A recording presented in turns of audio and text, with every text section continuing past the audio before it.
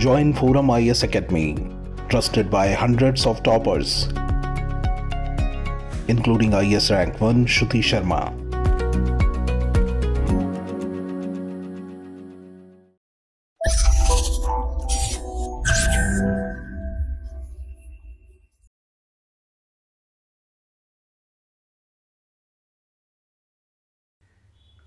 Hello and welcome to Forum IAS. Today is 6th March 2023. These are all the articles which we are going to discuss today and one more bonus is waiting for you. We are going to discuss four questions from previous year prelims that too from 2016 and 2015. This discussion will be carried out at the end of the video Stay tuned till the end of the video. Now let's jump into the first article of the day. The first article is about Great Indian Bustard. Why this is in news? Because the Central Electricity Authority, they have come up with new regulations which says that power lines which have capacity below 33 kilovolt they only need to go underground. And if it is above 33 kilovolt they can be above ground. So what happens is these great indian bustards they collide with this above ground power lines and they die, die right? So this is leading to reduction of population of the great indian bustard so the activists are saying that this particular norm will hinder the efforts to make the region safe for the great Indian bustard. Currently, this great Indian bustard is in critically endangered status according to the IUCN Red List. We will see more facts about great Indian bustard which is popularly called as GIB okay i'll also share some interesting facts with you. Uh, stay tuned. So the conservationists they are saying that in actuality at the present time only less than 150 members of this GB remain. So as a result of that to conserve this species environmentalists they approach the supreme court so, as a result of this case, Supreme Court ruled that low voltage power lines should go underground in the priority and potential habitats of Great Indian Bustard. This is especially in Thar Desert and the Kutch region. Here, Supreme Court ordered the low voltage power lines to go underground. So, Central Electricity Authority's new norm bypasses this particular order and if this is implemented already this species is critically endangered and it would go extinct. There are chances of extinction. Then this species will become the second major species to go extinct after cheetah in the post-independent India. So recently cheetah was reintroduced in India. We bought uh, African cheetah to be reintroduced in India. As a result, we are facing many challenges to rehabilitate, to make the cheetahs adapt to the new environment, right? So, better thing to do is to prevent the extinction. Initially, before peacock was chosen as the national bird of India, this GIB was proposed to become a national bird of India but later this particular proposal was dropped. Okay. So we will see some facts about this great Indian bustard. This is a beautiful illustration of great Indian bustard. This is very important from prelims point of view there is a convention called Convention on Migratory Species. This is called CMS Convention. So, the Conference of Parties, that is the annual convention of this particular CMS, Conference of Parties, Conference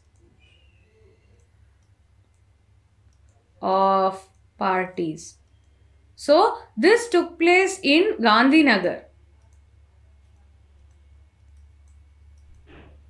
in 2022 and for this conference of parties the mascot was GB. So we all know that UPSC has a tendency to ask questions from past one year, two year, three year current affairs also. In that context, this GB becomes very important.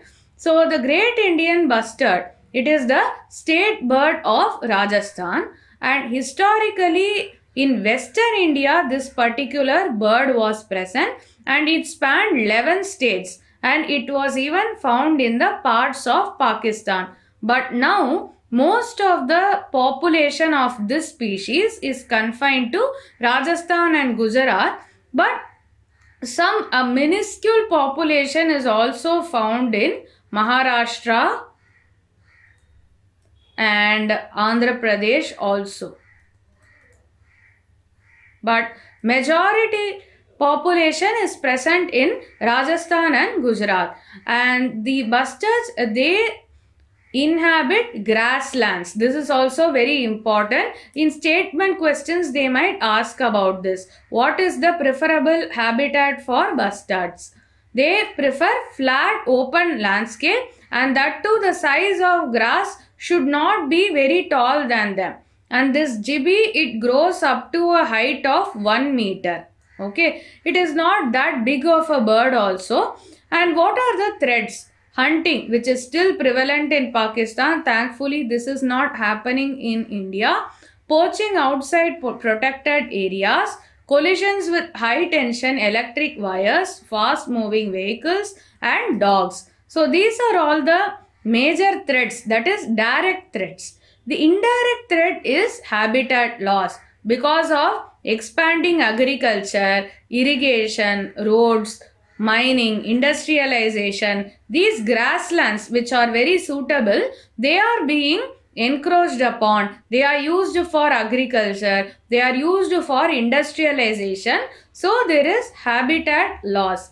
And this species is listed in the schedule 1 now from this you can understand the degree of protection. It is placed on par with species like tiger and elephants. And this is critically endangered in the IUCN Red List which we have already discussed.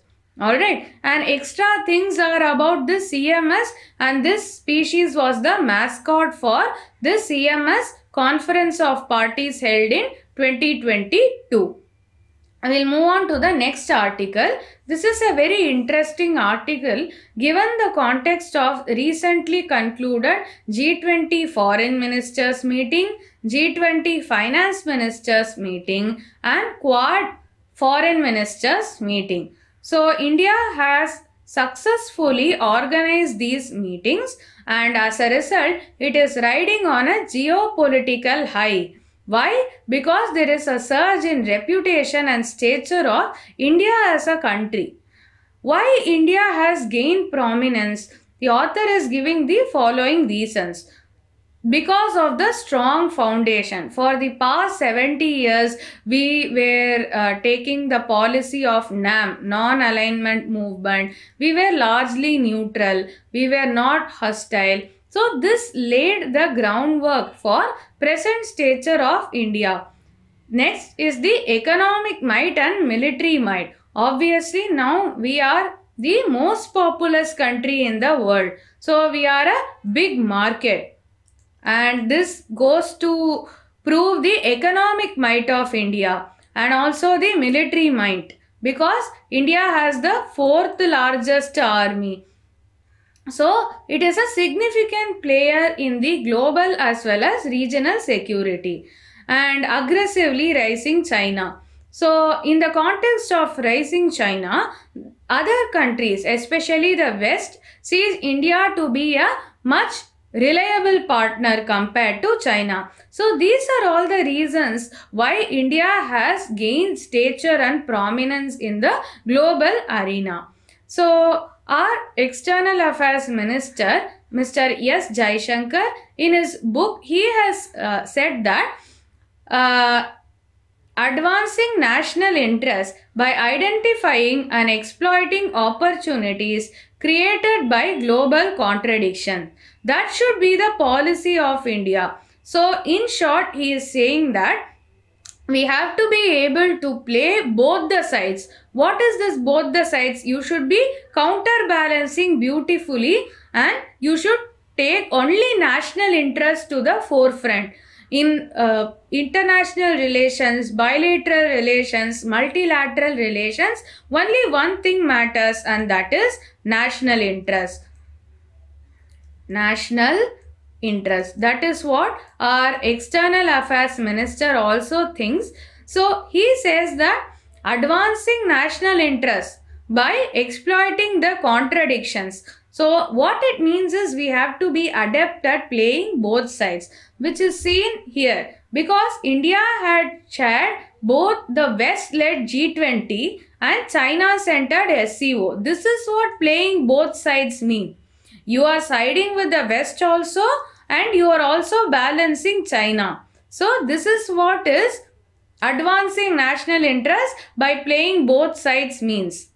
And India is also taking a place in global high table because of G20 and it is also emerging as the leader of global south because of its prominence in organization like SCO. What is global south? Global south is the developing countries and least developed countries.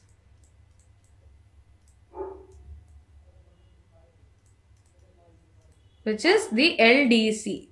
So, India is emerging as a global leader in the global south as as well as it is also emerging as a leader in the global high table.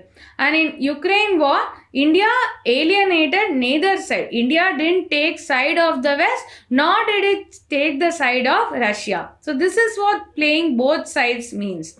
India is taking interest in organization like Quad and it is also taking interest in organization like BRICS and SCO. We know about Quad, right? Quad is a four member informal organization consisting of US, India, Japan and Australia. So this is to counterbalance China. If we see BRICS, SCO and all, China is a prominent player. So these things India did in 2023. This way India played both the sides. That is what the author explains what it means to play both the sides. But why is India doing that? In the end, what does India want? India wanted a seat at the global high table, which means permanent seat in in UNSC. But this is not inside. So India is highlighting the dysfunctionality of UNSC. So it is saying that UNSC, United Nations Security Council, has become ineffective and there needs to be inclusive and flexible forums like G20. Because India thinks its permanent seat in UNSC is far, it is saying that actually, you know what? UNSC is not very functional and we need more bodies like G20. That way India is playing. And this recently concluded G20 Finance and Foreign Minister meeting, though there was no joint statement, yet it was a success because it brought into consensus the US Secretary of State Antony Blinken and Russian Foreign Minister Sergei Lavrov. Actually, we can't say that to be a consensus. At least India tried to bring them together for the first time since the war and second thing is most of the forum they were not able to bring together the warring parties that is the West and Russia. But India succeeded in doing that.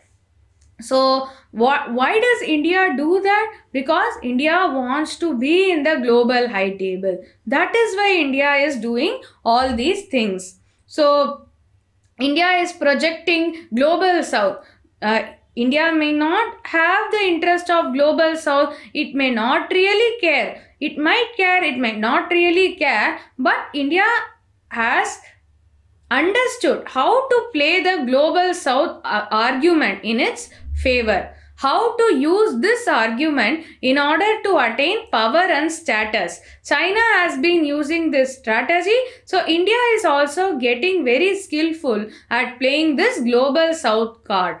But there is to be caution because fall in line and you will be forgotten. If we are going to fall in line, in all the issues you will be soon forgotten. You have to make your mark right? So new delhi is understanding that their ability to carefully balance global fault lines that will increase its utility. So other countries will trust India to manage these kind of fault lines. And if the other countries want India to manage global fault lines, then India can use other countries to gain a seat in UNSC. So, India has to play carefully. At the same time, it should not fall in line too often. It should be independent in, in its assertion also. Now, what are the challenges? Challenges are like the G20 presidency as well as SCO presidency. They are approximately for one year and they will end by the end of 2023 and China is projecting itself as the leader of global south and it won't let New Delhi to take over this position. It will have it will put up a tough fight. So we also have to deal with that. And uh, for how long can we balance both sides? At one point, you have to take stand. That is a risk in this playing both sides argument. And sometimes what happens, diplomatic highs are used in domestic political ends. Instead of using this, we really have to go for long-term goals. That is to make India a prominent player in global politics. So if we are very much aware of these challenges, India is in a better position to ride on this diplomatic high. So to summarize this, the author is saying that India has been playing a very good neutral role and it is also gaining prominence in the global politics but it comes with its own challenges and we need to be aware of these challenges so that this success doesn't go to waste. So that is what is the summary of this article. This is very useful for GS2 Certainly there might be a question related to this in the upcoming mains. So kindly note, take note of this article. Moving on to the next article, it is about biocomputers. So in Johns Hopkins University, they are coming up with a new area of research called as organoid intelligence and using this they are creating biocomputers. Now what is biocomputer? Biocomputer is nothing but brain cultures which are grown in lab and they are connected to real world sensors and input output devices. Like our brain is connected to input output device that is our eyes, our ears, our skin, right? So here what they are doing is they are growing the brain. They are growing the organoids in lab and we are connecting it to input output devices this this is called as biocomputer so why we are doing this? We want to understand the biological basis of human cognition learning and various neurological disorders. That is we want to know how human beings learn how the brain functions what are all the different neurological disorders. So this will help in understanding all those things. So what is the underlying premise is see the brain organoids they are mini brains. So I'll show you the picture of these organoids. So these this is the culture of organoids which are which is basically lab grown brain right. So these are the 3D culture of brain tissue and how this is done using human stem cells. So these human stem cells are undergoing a 3D culture and then brain organoids are developed. So what is the challenge here? Challenge is that we are going growing this small brain organoids but it requires blood circulation which is not there in this and there has to be sensory inputs not just brain is sufficient. It has to have some input some output. Then only we can understand what is going on inside. If we simply develop this organoid what is the use? So that is the challenge with this biocomputer. Then how this is studied? So what happens is this brain organoid is nested in the rat brain. So they transplant this organoid to rat brain so what happens when it is placed in rat brain? There is circulating blood and as a result the neurons in this uh, brain organoid they become active. But the problem with studying uh, the effects of drugs so that is not properly undertaken in this transplanted brain cells into rats. That becomes difficult. So we need to have human relevant systems so though we are uh, surpassing this challenge by implanting this organoid into rat brain, we still need to develop a relevant system. In that context only, we are developing the biocomputer. That is, brain organoid is, com is combined with modern computing methods. So there is also plan to couple the organoid with machine learning. So what happens is you would have seen in uh, movies and all, there are several, so if assume this is the human brain, this is the skull. So several electrodes are inserted, right? You would have seen it in the movie. So similarly, they are planning to insert electrodes to this brain culture and they are using they are going to use machine learning to understand how the brain works. So what will be the effect of this? So the firing patterns of the neurons, they can even give stimuli. That is, if electrodes are connected, then stimuli can be uh, given in the form of electric shocks. And then they can study how the neurons get fired. So we can see how the brain responds to external stimuli and that is possible by connecting electrodes with the brain. So another promising thing that can happen in this regard is there are some brain disorders like uh, Parkinson's disease. There is Alzheimer.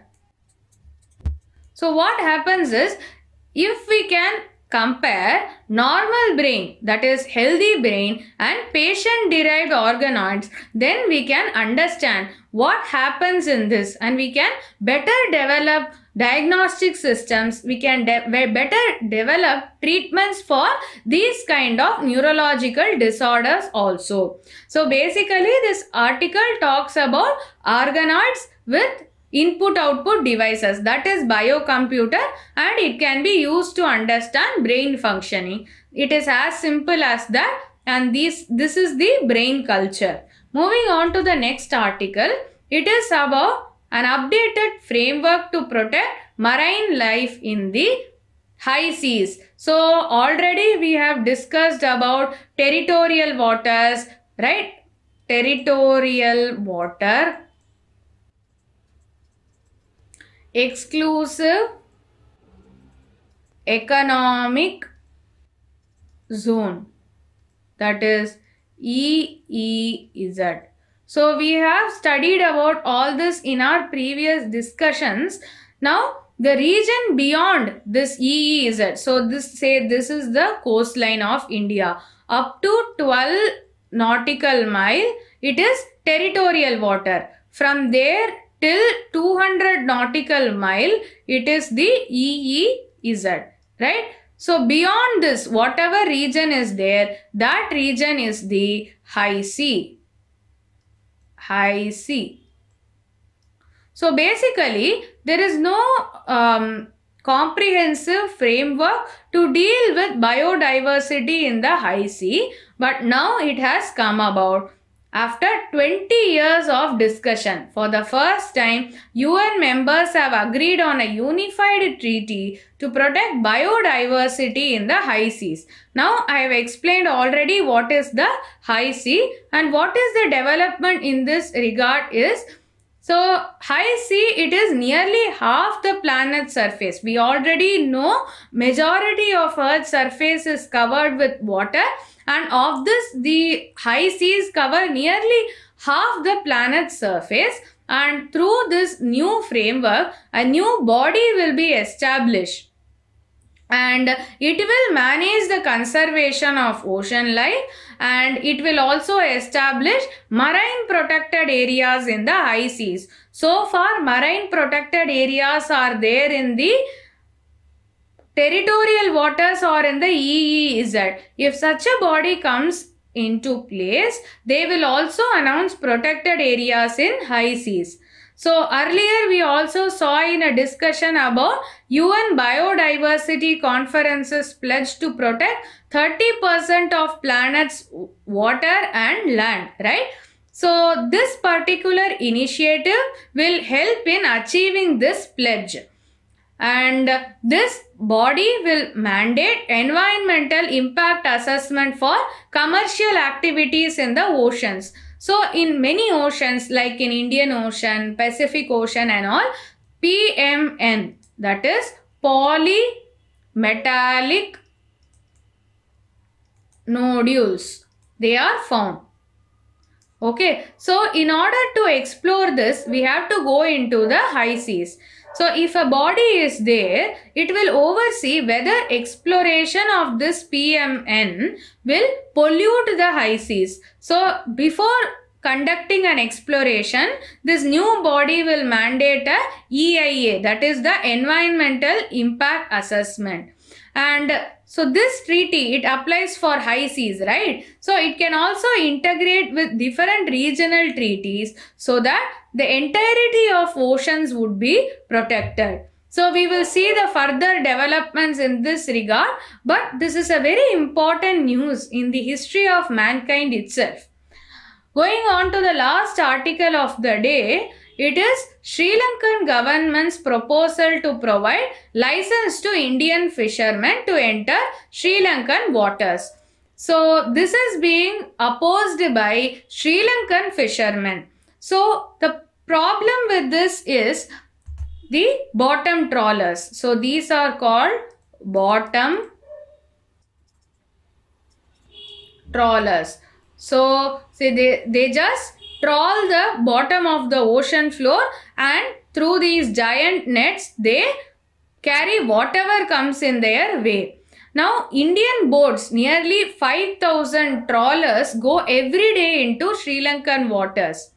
So because of that Sri Lankan fishermen feel that their livelihood is being affected. So this trawler is a giant net even if there is a small fishing boat of Sri Lankan fishermen, their net, their boat and all will, get cut because of this giant net. But the problem is that if 5000 trawlers are coming every day into Sri Lankan waters, it is becoming heavy for Sri Lankan Navy to monitor this. So, Sri Lankan government has come with this proposal that licenses will be given for these trawlers so we can properly regulate these trawlers. But Sri Lankan fishermen, so who are from the northern area, this is the Tamil dominated area of Sri Lanka and they were most affected by the Sri Lankan civil war. Right. So they are saying that already we are coming from a very low point. Now only we are gaining food. And in this context, if there are these kind of trawlers from India, it will severely affect the fisheries well. If all the fish is caught by these trawlers, what will be left for Sri Lankan fishermen? That is the problem. But Sri Lankan government is doing it from a regulation point of view and they also want to have proper bilateral relations, uh, an amicable relation with India. So that is the problem here. That is what is discussed in this article and from geography point of view you have to concentrate on Gulf of Mannar and this small water body it is called as the Palk Strait. So Palk Strait this is the small water body which is between India and Sri Lanka.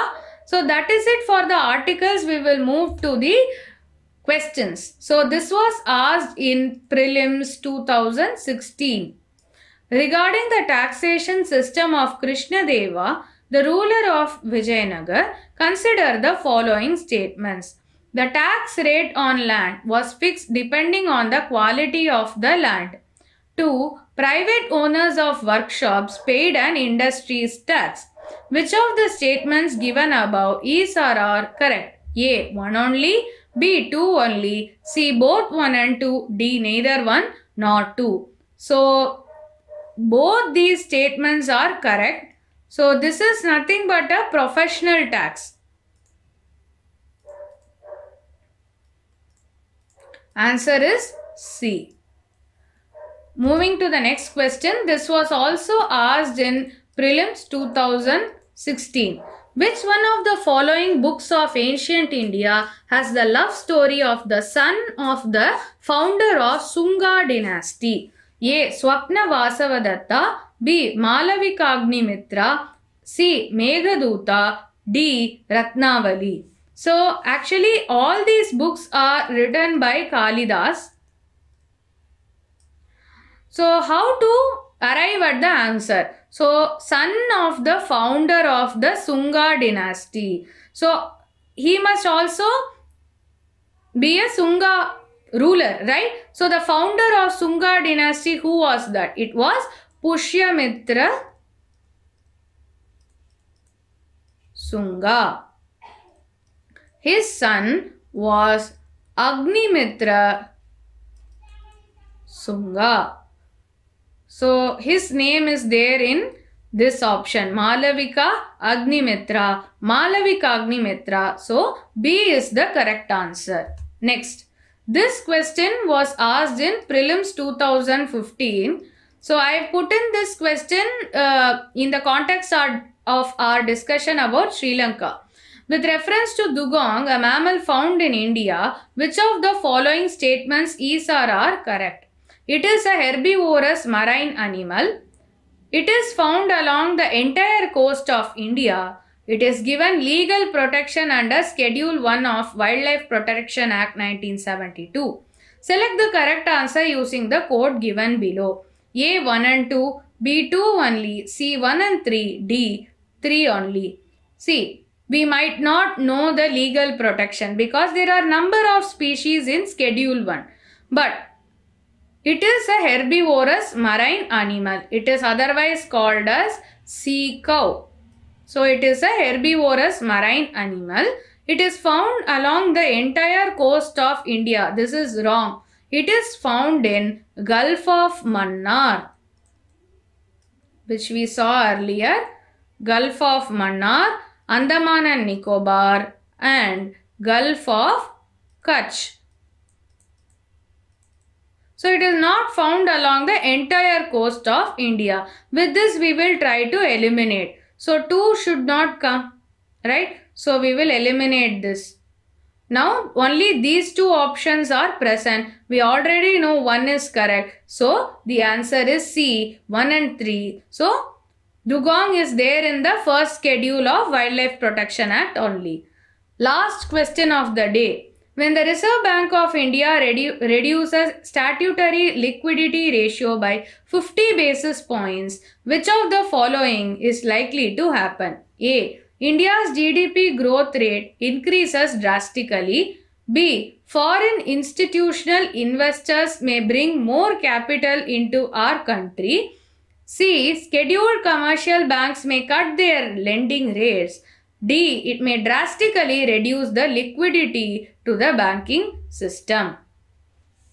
So this is an extreme word, drastically. So we can't be really sure. So they are talking about SLR. So if the SLR is reducing, what will happen? if the SLR is reducing, then what will happen? Say current, uh, for example, the SLR is 25%. 25% of the deposits should go into SLR. If it is cut by 50 basis points, then it becomes 24.5%. So 0.5% of the deposits are freed. Now this will only be lent. So this will go into loans. So what will happen as a result? The commercial banks may cut their lending rates. So answer is C. So that's it. This question was also asked in pre-2015. So that's it for our discussion. Follow us on all these channels. This is Indumati signing off. Have a good day. Thank you.